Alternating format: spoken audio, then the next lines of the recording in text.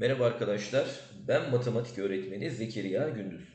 Bugüne kadar ülkemizin farklı şehirlerinden pek çok okulun tanıtımını yaptım. Eski videolarıma bakarak tekrar onlardan faydalanabilirsiniz. Bu videoda da Maltepe Fen Lisesi ile karşınızdayım. Sunuma geçmeden önce sizlere küçük bir hatırlatma yapmak istiyorum. Bir sonraki videoda da tanıtmamı istediğiniz okulun ismini yorum kısmına yazabilirsiniz arkadaşlar. Ayrıca LGS süreci ile ilgili danışmanlık, öğrenci koçluğu veya matematik özel ders talepleri ile ilgili ayrıntılı bilgi almak için açıklama kısmına bıraktığım iletişim bilgilerinden bana ulaşabilirsiniz. Haydi başlayalım.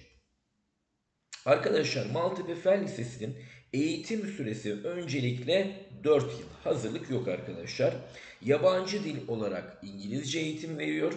Özellikle uzak yerlerden bu okul düşünenler için arkadaşlar okulun pansiyonu ne yazık ki yok. Okulumuzu biraz daha yakından tanıyalım. Arkadaşlar Maltepe Fen Lisesi 1993-1994 eğitim ve öğretim yılında iki hazırlık şubesi ile Hasan Şadoğlu Lisesi'nin iki dersliğinde eğitim ve öğretime başlamıştır.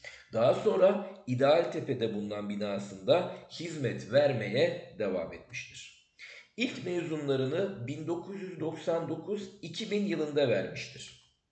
27 Haziran 2018 tarihinde isim ve statü değişikliğiyle Maltepe Fen Lisesi olarak 2018-2019 eğitim ve öğretim yılında hizmet vermeye devam etmiştir arkadaşlar.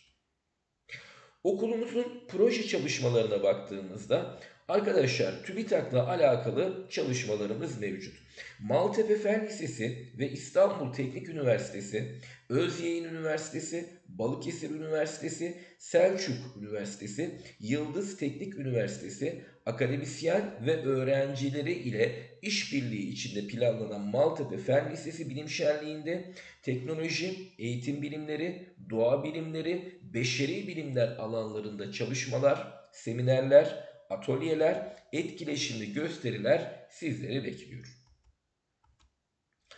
Maltepe Makers çalışmalarına baktığımızda okulumuzda arkadaşlar 2014 yılından bu yana her yıl kodlama etkinlikleri düzenlenmektedir. Bilim şenliği tarzında olan bu etkinlik ücretsiz ve herkese açık olarak gerçekleştirilmektedir. Arkadaşlar okulumuzun Avrupa Birliği çalışmalarına baktığımızda Safe Energy, Energy for the Future adlı yenilik ve iyi uygulama değişimi için işbirliği ana eylem Erasmus projemiz 2 yıl boyunca ortaklarımız olan Slovakya, Çek Cumhuriyeti ve Bulgaristan ile birlikte yürütüldüğünü görüyoruz. Kulüp çalışmalarına baktığımızda arkadaşlar okulumuzda pek çok kulübün aktif olarak çalıştığını görüyoruz. Bunlar Maker Kulübü, Robotik Takımı, Girişimcilik Kulübü, Sanat Kulübü, Gezi Kulübü, Tiyatro Kulübü, Kan Bağışı Kulübü olarak karşımıza çıkıyor.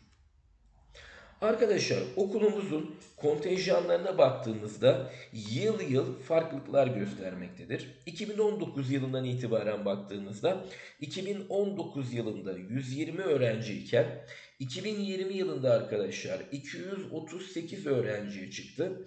Bu yıl tüm Türkiye'de arkadaşlar LGS'ye giren öğrenci sayısı çok fazla olduğu için tüm Türkiye'de okullarda ciddi bir kontenjan artışı olmuştu. Fakat 2021 yılından itibaren yine bir düşüş karşımıza çıkıyor. 2021 yılında 170 öğrenci, 2022 yılında ise 150 öğrencilik bir kontenjan karşımızda bulunuyor. Ve en çok merak ettiğimiz arkadaşlar kısma geldik. Okulumuzun son 5 yılının puanları ve bundan çok daha önemlisi olan yüzdelik dilimleri. Özellikle tercih sürecinde olan arkadaşlarımız tercihlerini yaparken yüzdelik dilimlere göre yapmaları gerektiğini unutmasınlar. İlk olarak taban puanlarına baktığımızda 2018 yılında arkadaşlar 388 puan LGS'nin ilk yılıydı. Puanlarda ciddi bir düşüş vardı. 2019 yılında 461, 2020 yılında 438 2021 yılında 423 ve 2022 yılında ise arkadaşlar 442 tamam puanı ile okulumuz öğrencilerini aldı.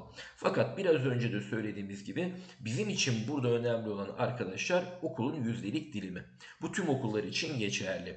2018 yılında %3,52'lik dilim, 2019 yılında 2.96, 2020 yılında 2.71, 2021 yılında 2.95 ve son olarak 2022 yılında arkadaşlar 3,66'lık yüzdelik dilimde okulumuz öğrencilerini aldı. Yüzdelik dilimleri arkadaşlar tercih sürecinde tekrar hatırlatmış olalım. Bizler için en önemli referans değeri lütfen tercihlerimizi yaparken son yılların yüzdelik dilimlerini baz alarak tercih yapmayı ihmal etmeyelim. Beni dinlediğiniz için teşekkür ediyorum. Destek için videoyu beğenmeyi ve kanalıma abone olmayı unutmayın. Herkese başarılar. Hoşçakalın.